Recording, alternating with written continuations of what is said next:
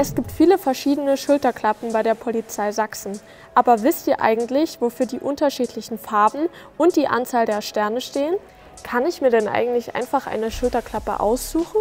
Nein, die Schulterklappen unterscheiden sich bei uns in drei verschiedene Laufbahngruppen. Blaue Sterne auf der Schulterklappe kennzeichnet die Laufbahngruppe 1.2, euch vielleicht bekannt als mittlerer Dienst.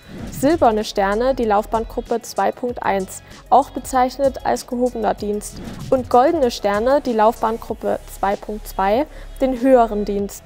Achtet ihr eigentlich bei Polizisten oder Polizistinnen auf den Dienstgrad?